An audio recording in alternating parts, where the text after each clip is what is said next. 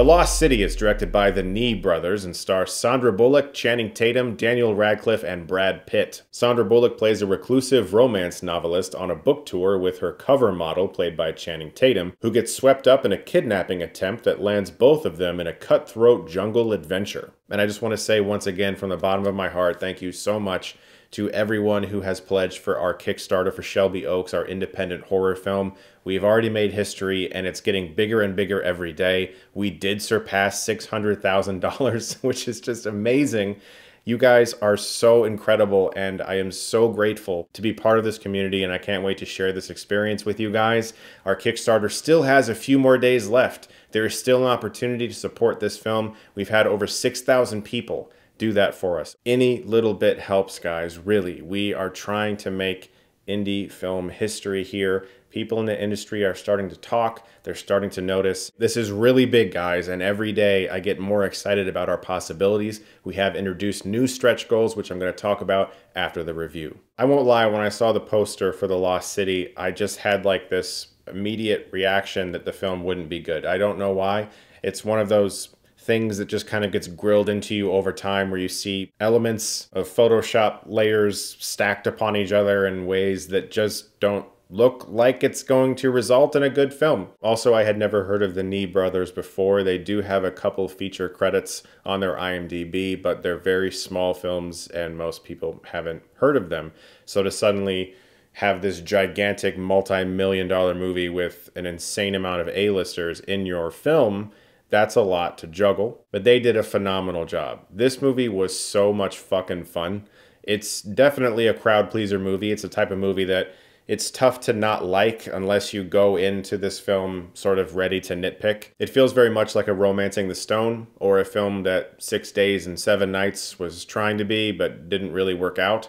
This movie balances everything very well, and although there are moments where the story sort of loses sight of what it's trying to do. And sometimes character motivations, especially for Daniel Radcliffe's villain, are very weak. It's the chemistry between Sandra Bullock and Channing Tatum and the more than capable eye of the Nee brothers and the way they handle some of the action sequences that make the movie endlessly watchable. But in particular, it's the actors. Brad Pitt, especially in a kind of extended cameo. Like he's in the movie enough to warrant his inclusion on the poster, but he plays a former Navy SEAL badass who's also very into meditation and being calm while he slowly chokes people to death.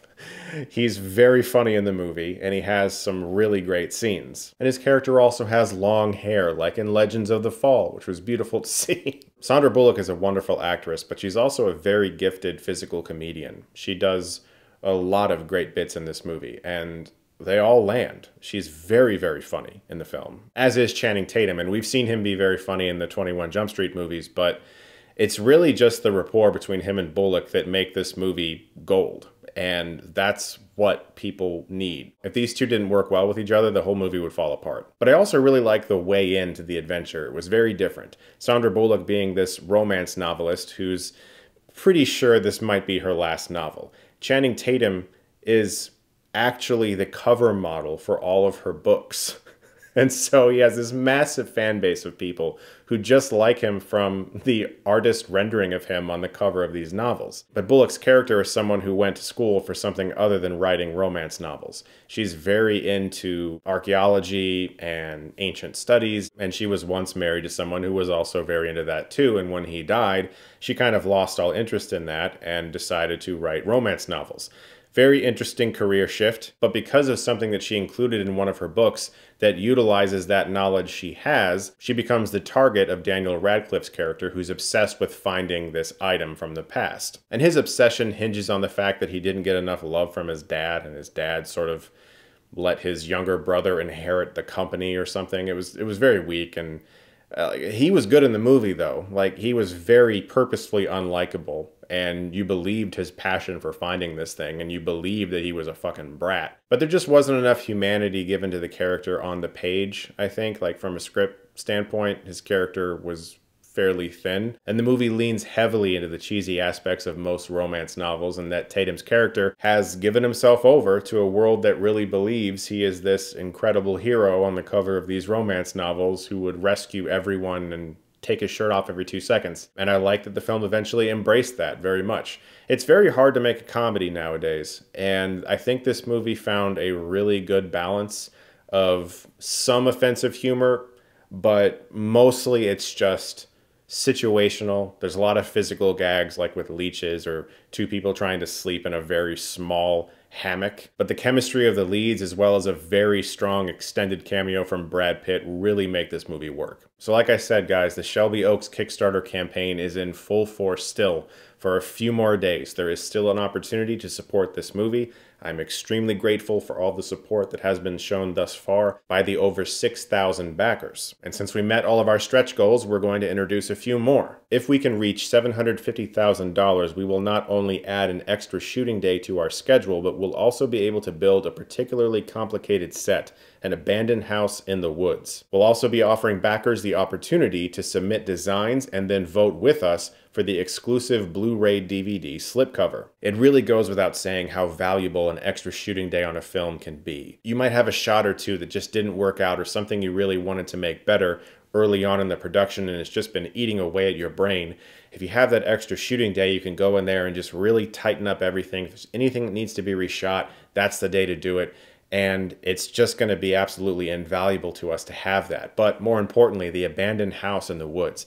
This is a very important segment of the film. Filming in a real abandoned house is virtually impossible. You could film exteriors of one, but once you get inside, a real abandoned house is usually unsanitary. There's dead animals, there's mold. Trust me, I've scouted some for this movie, and it's just not safe for the actors or for the crew. And more than likely, there's no electricity access, and so we're gonna have to build a very complicated set to make this piece of the movie work. And I'm really hoping that you guys can help us do that. But also being able to vote on an exclusive Blu-ray slipcover only for backers. If you're anything like me, that kind of stuff gets you kind of excited.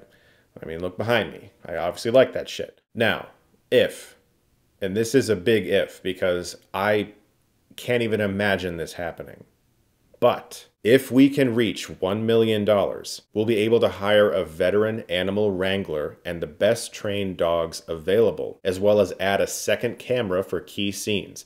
We'll also be adding a second hand numbered backer only poster to all physical reward tiers. So there are a handful of sequences in this movie that involve dogs, and they have to do very specific things. And there's one thing that I would really like to do all in one take and I don't want to use CGI. That's going to be costly.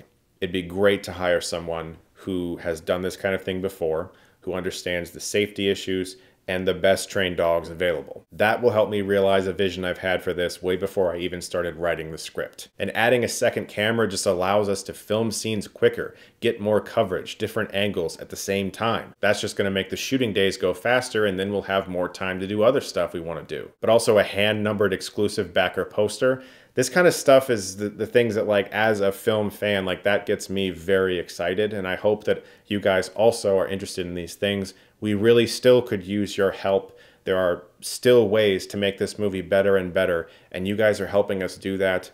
I am so grateful. The link for the kickstarter is in the description below. Thank you guys so much. As always if you like this you can click right here and get stuckmanized